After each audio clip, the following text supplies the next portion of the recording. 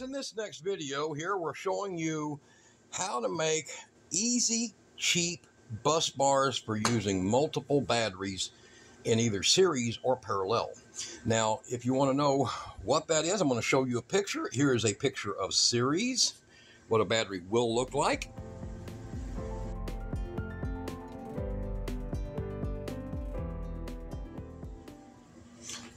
Right, and now here is a picture of parallel.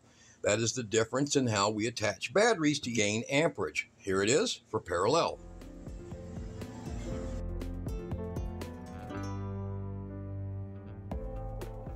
In this video, I'm going to show you how I ended up with this result.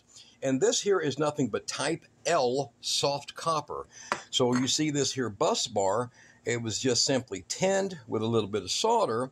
And you do that so that you don't get oxidation on it. And we're going to have like here, you'll see over here, this is the bus bar, similar, an older model that I made, so I could use on my large shunt to get it away from the battery and make easier contacts. So this is about the same thing, shrink tape on it, and we're going to be introducing my little friend. This I bought in about, I think, January. So this is what, September now, right? So this is about nine months. Nine months I've been using this. It comes with two batteries. There's the other one charging back up. And it comes with a whole nice, beautiful case, works great. And it has all kinds of different fittings. Now, generally, I don't want to get off subject too much because we're going to be doing these bars here. Uh, what we're showing you is shrink tape bus bars, your basic, your terminal makeup, okay? So lugs, terminal makeup. You see that? That right there is a battery balancing line that I make. This terminal makeup. So this is like if you want to unsolder IC chips off of boards. That's what this will do. It's impressive. There's a reason I got this. It's because I was nearly 50 feet in the air and I dropped this torch up in the top of a wind turbine and we're doing the shrink taping the wires and this landed on the ground. Take a look at that. Now I'm up a lift uh, and this hit below me. Could you imagine? Boom. I'd been that big fireball, right? So bad idea, better idea. And this one here, look at this. Um, you see that battery, that big chip in that battery right there? I dropped this one from like 30 feet onto concrete. Okay, behind a a, a T-Mobile store. Always putting in solar.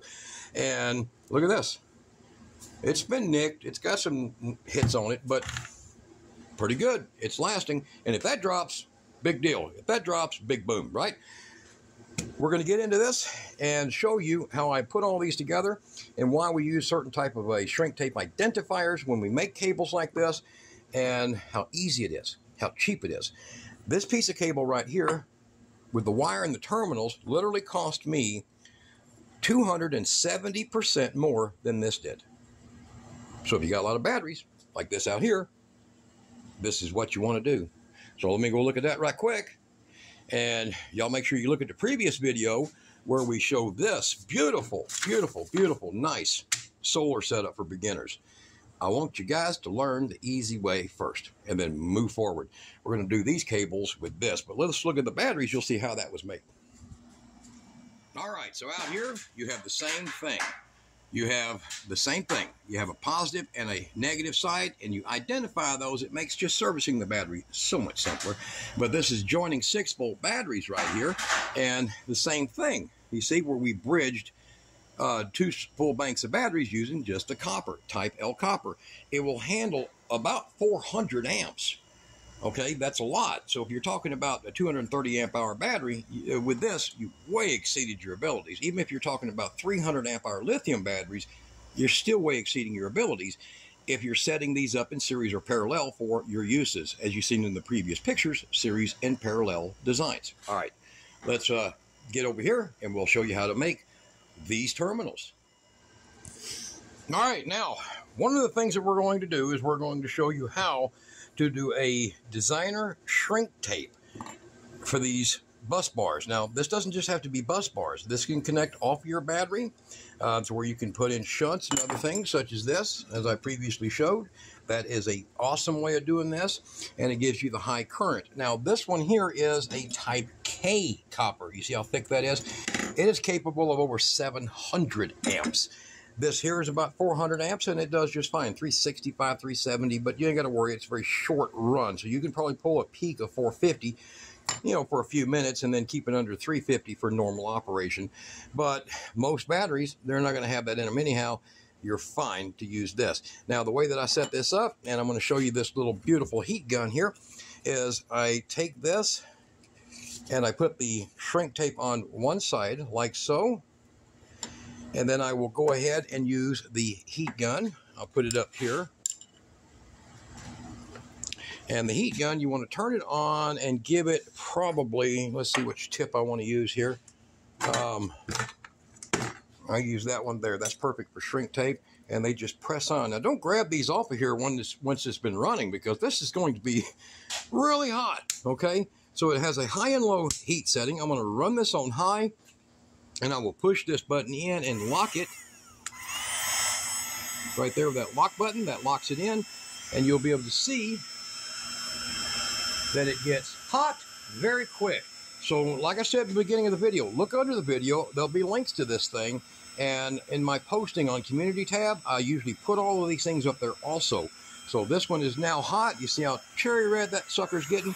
And we're going to bring it right over here and we're going to set that shrink tape down. And let me get a better view here. Set that shrink tape down, and this is better than using a torch. A torch tends to burn the hell out of this stuff sometimes, and you don't want to go there if you don't have to. Look how handy. I can even leave it running because you want to maintain its heat, and then we will continue and run it down. Now you get about, I don't know, 3 eighths to a half inch away from your work, and it works fine. You will not burn it. And then I'll put that one on there and go ahead and hit the button here and unlock it. And then what we're going to do is we're going to take the shorter piece I made for it. So as you'll notice, as you've seen in the battery bank, I have a black and red side. Now, you're probably thinking, well, that's about dumb as hell. Well, when you're hooking up different switches or disconnects or fuses, you don't end up confused and burn your house down when you just go ahead and make them look nice, right? Ooh, very warm. And um, the smart move is to make sure you use positive negative identifiers on everything you got, not just a few items, okay? So we'll put that on there like that. And now you'll be able to see that we'll get that fired back up. Okay? And let her get red. She gets red pretty quick. See that? Around seven, 800 degrees. And here's what's funny. Caught my wife the other day using this on the center of a pizza that didn't cook well in the oven. I'm like, what the hell are you doing? She's like, that works good. so you see that? Nice, clean. And then what I do is I just make sure it's all nice and solid connection on there. And I'll put links to this shrink tape. Now, this is usually the best kind I get is WindyNation branded. Uh, they're pretty good quality shrink tape. Doesn't tend to want to rip or slip. And um, there, you see that how it goes down? Nice and solid. So you have a bus bar. Oof, watch this, hot. Hey. you have a bus bar that's that's polarity identified. Kind of cool, huh?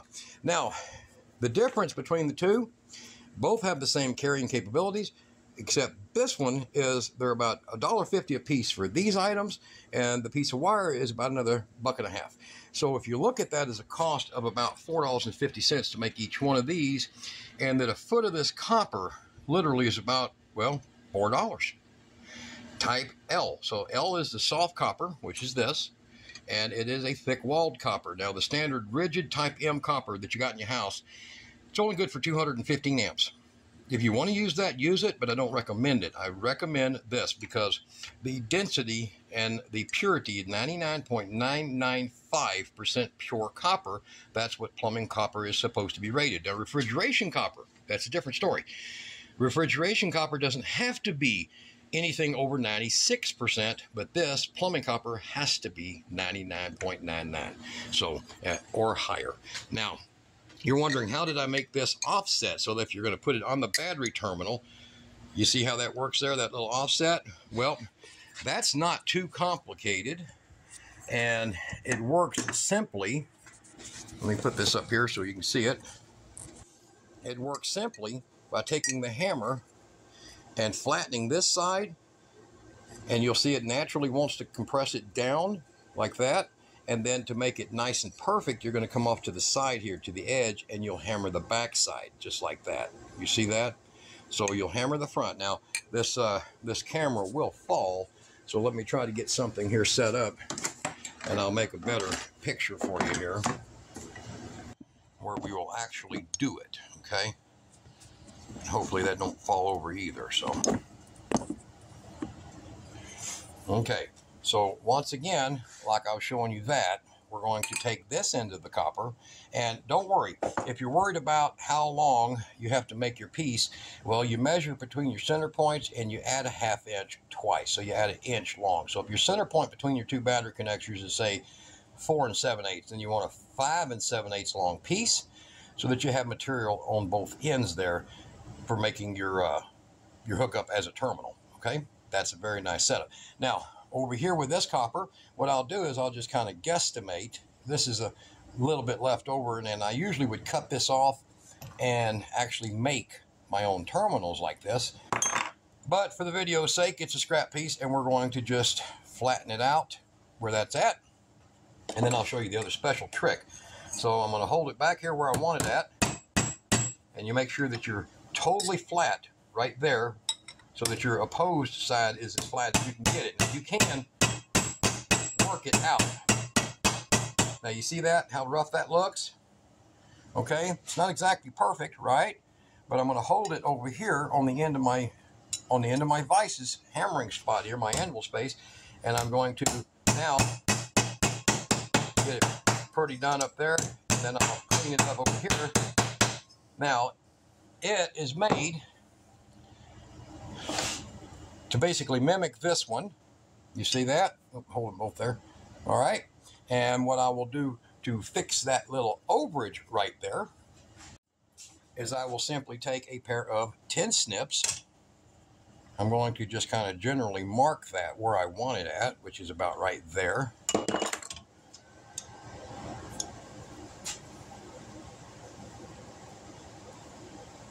and just taking 10 snips, I will be able to cut it away. Not a great pair for that. I should have used standard aviation, but and then you have yourself a bus bar. You see, not bad, not hard to do. And then as far as drilling it, you're going to drill it with like a 3 16 bit first, where you'll center up your hole for where you're going, and then take you a taper bit, like one of these taper bits, and you'll slowly clean it out. Now what you got to do to do that is I'm going to put it over here in the vise for everybody. Because otherwise this copper is a soft material and it will just go spinning everywhere. And then we're going to take this little warrior drill right quick and I'm going to chuck it. Just as a rough guess, I'm going to drill my pilot. This is a pilot hole. And be sure you do not leave copper filings all over your floors because if you have pets or small children, it will really eat their feet up.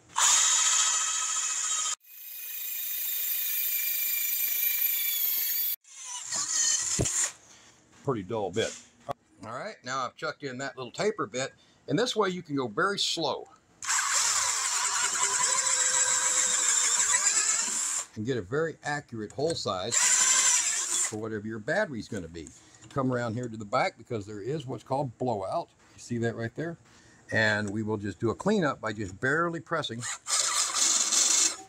on it like that. Now, we have created, we drop it out here, a complete bus bar. And that was simple, wasn't it? So you see that complete bus bar for hooking up your batteries. Now, in the case of the number eight screws here that go with the uh, lithium batteries. There you go. You see that? So it's lower on one side than the other. You see that? Lower on one side than the other. And easily manipulatable. You can actually move this. You can bend this. You can actually take this copper and fold it once and twist it the other direction. All kinds of things. Just be sure you cover it with some shrink tape or use a, a lacquer clear coat. Now, the same thing using these right here. Let me get this set up. All right, now this is a Temco, very good quality. A lot of these do not have these that are pressed together right, and they'll get loose, but the Temcos are very good. When you push this in, this is for your hammer, and it'll stop right there on your heel of your terminal. See that? It doesn't push it any further. The way that these work is they use a compression displacement seal or compression displacement contact, and they work by literally causing everything to just smash into itself and fuse. Now, the reason we're doing this is because this big monster here, this big one here, has to have much heavier cables. That's why this was increased and this is increased so that we can hook up this inverter to the battery that's under there. Stay tuned. Another video coming. Be sure you're watching these and be sure you subscribe. And if you want to make sure the channel gets more things like this to do with, y'all donate at that Buy Me a Coffee thing. Buy Me a Coffee, John Daniel at the bottom. It really helps. I mean, drastically. We're able to do this stuff because people want to know how I'm going to take my knowledge and share it. All right, so here we go with that. Now, typically I'd have something way holding the other side of this, but we're going to just basically show you how it works. It's just a hammer, and you're going to hear the change in tune or tone that comes up when it's bedded out. In other words, there's no more displacement in that fitting for it to go to. You hear that? That's fully sealed. Now, once that's done, usually give a little tap right there so it knocks it loose because it will get pretty well buried in that thing. And then you have oof, a terminal that is now fully crimped. Now what I do to add strength, because you've seen these where they have just a single layer of shrink tape over them, the first thing they do is that splits away, right? Well, I put a short piece and then a longer piece over both of those. And then that, and we're to It'll be the same everything you do here. But turn that heater gun on, let that warm up a little bit. And you'll see that the same thing, I, I pre-did this one. And if you get these uh, these fittings, you'll put them in a vise and get you one of these taper these uh, taper bits because this fitting was drilled out to handle this bolt. You see? it was drilled out to handle that bolt.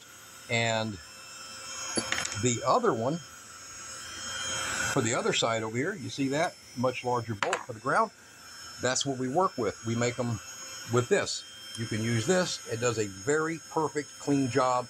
And that way, the overflash you can clean off real easily. See that?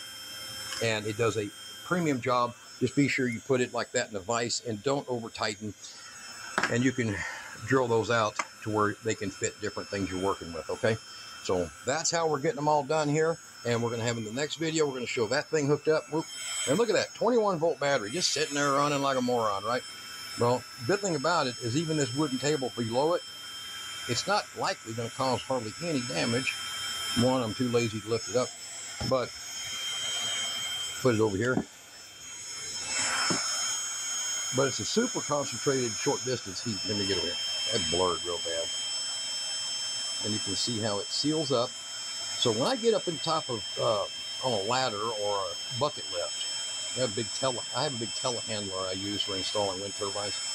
When I get up there, being up there with a torch like that, man, that's just two two levels of stupid that I've done for 20 years, and I need to stop. Because man, when that thing bounced, it literally landed at the edge of a pile of bricks. Could you imagine? Could you imagine that would not? We wouldn't be doing this video unless it's from a wheelchair or a box, right? So this is a very handy unit. And the reason I got it was actually to unsolder to remove using this little one here, um, like IC chips off of boards, because that's what it's good for. And perfect heat. And you can switch it back and forth, high to low.